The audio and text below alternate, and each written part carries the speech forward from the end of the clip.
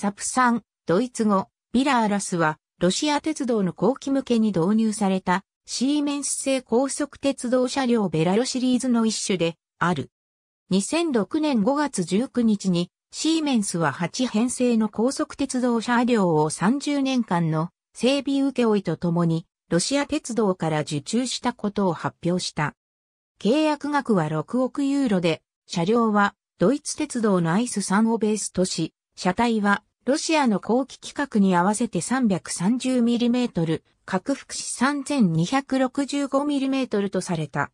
4編成は直流 3kV と交流 25kV、50Hz の高直量用に対応している。1編成あたり重量で編成全体の長さは250メートル、定員600名である。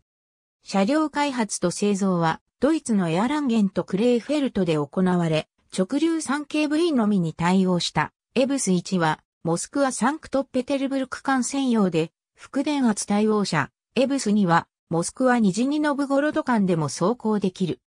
2009年5月2日に試験走行で時速 281km のロシア記録を同月7日には時速 290km の最高速度を記録した。